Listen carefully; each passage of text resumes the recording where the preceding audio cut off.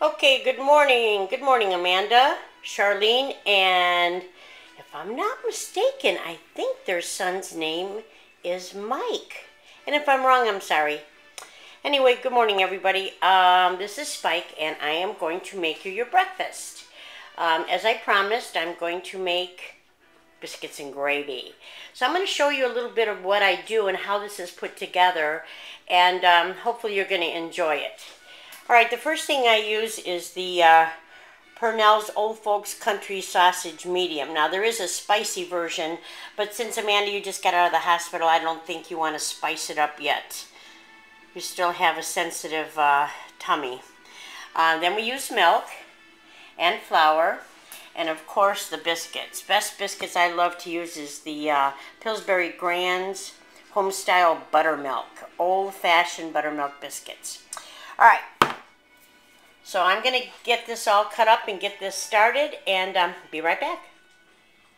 Okay, as you see we have our Purnell, so I'm going to go ahead and cut this up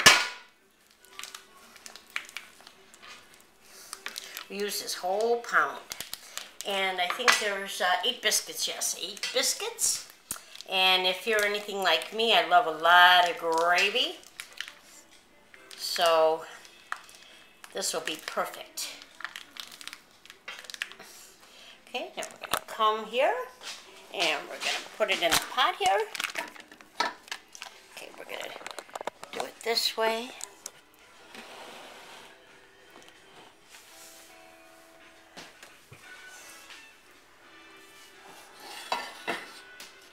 Okay, there we go.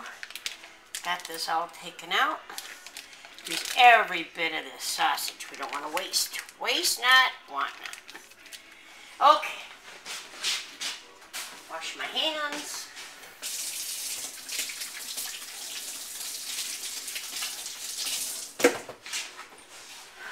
All right, now, I turn on the gas, kind of low temperature, a little bit higher than low.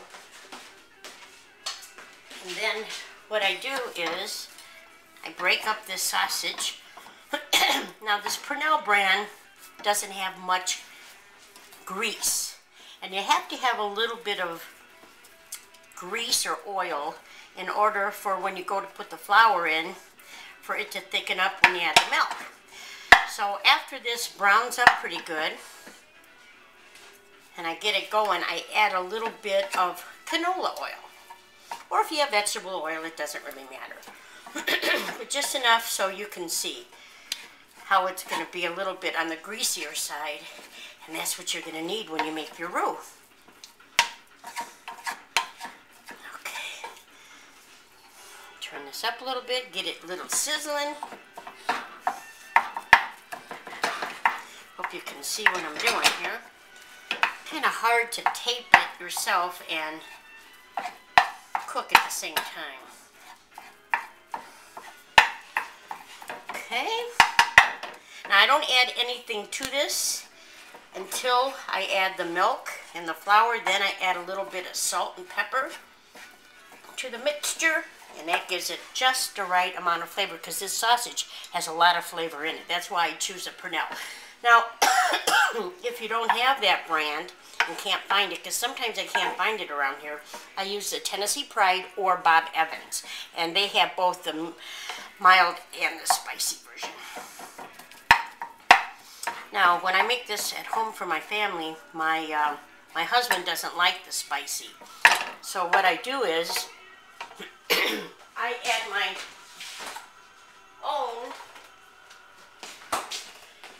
sriracha sriracha sauce. I add that to my plate to make it spicy. But then when he's at home and I make it for Ryan and I and Shelly, then I make the uh, spicy version. Which this one here, see?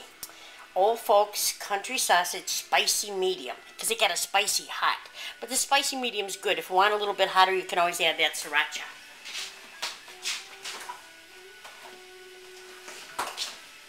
Okay.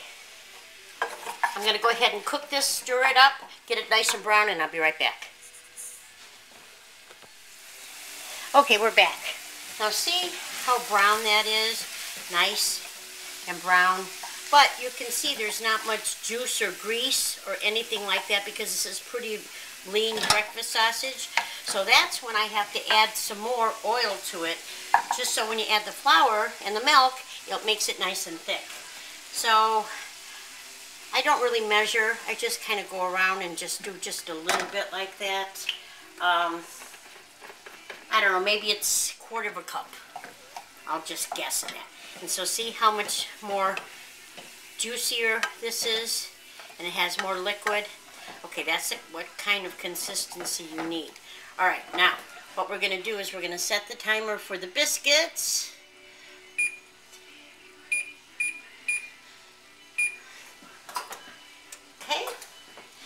Let that oven heat up.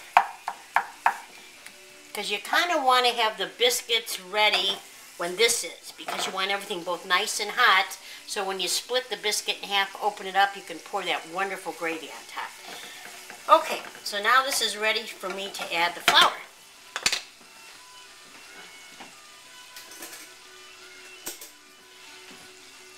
By the way, I want to thank my friend Aggie in southern Indiana.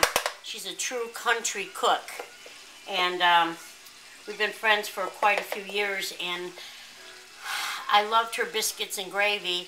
The only thing she does different than I is I use bulk sausage and I chop it all up where she makes sausage patties and serves that on the side and makes the milk gravy. So um, that's the only difference it is, but I like my chunky meat in my gravy. So anyway, we came up with six tablespoons of flour. One, two, three, four, five. Make sure they're level tablespoons. Six. Okay. There you go. We mix that up. And put that on the lower gas. Make sure all that flour gets in the meat. Otherwise, you're going to have one big thing of paste, and it's going to taste like paste.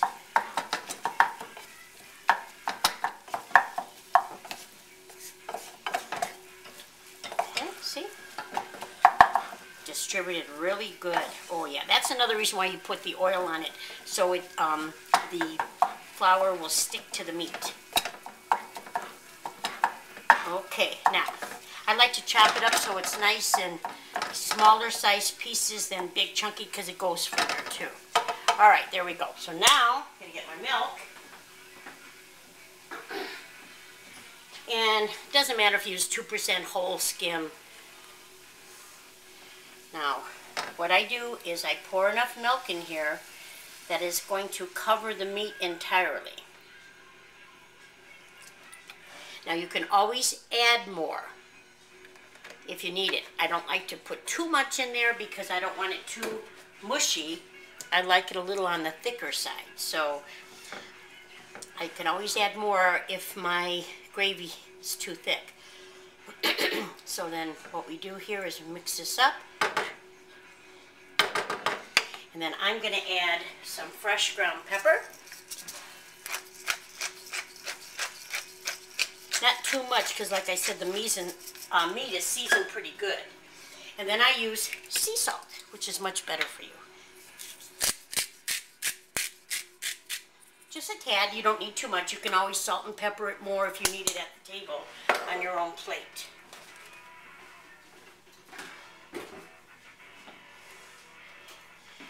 And then what this is going to do after a while, put this on medium heat so it starts to boil a little bit. You can always turn it down, but you got to stay at the stove and watch it. Otherwise it's going to scorch. And then it's totally ruined.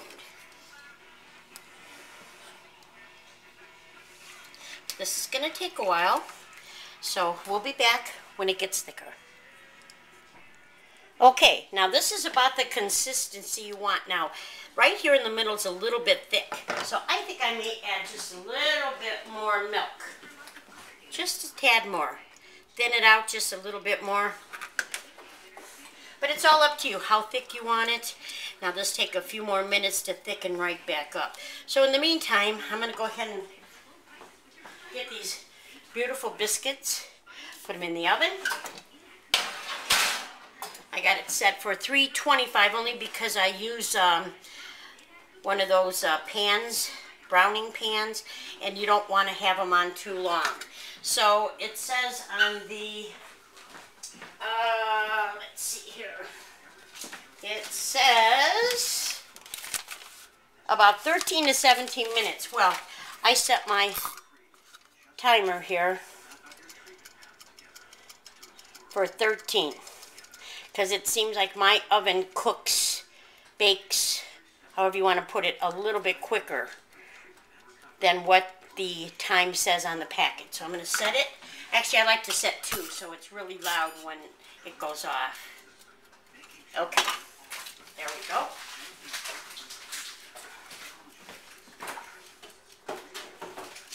Okay, mix this up a little bit more and see it's thinned it out somewhat. Got to keep stirring it though because if you don't, it's going to start uh, separating. And you want to make sure you got it all mixed up good. But see how I like the little chunks of meat in there? I like it that way than just patties on the side and just the plain gravy. But to each his own. But the basic recipe is my friend Aggie's.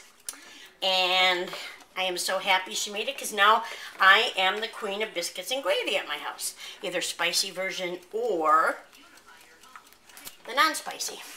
And when my kids come from Westville and they're here for the weekend and they stay overnight or come over for breakfast, this is what they always ask for between this and my pancake. So, okay, so this is about done, and I'm going to give it a chance to um, sit for a little bit, cool off just a tad, and then I'm going to transfer it to a packaging because we're going to go to Amanda's and surprise her.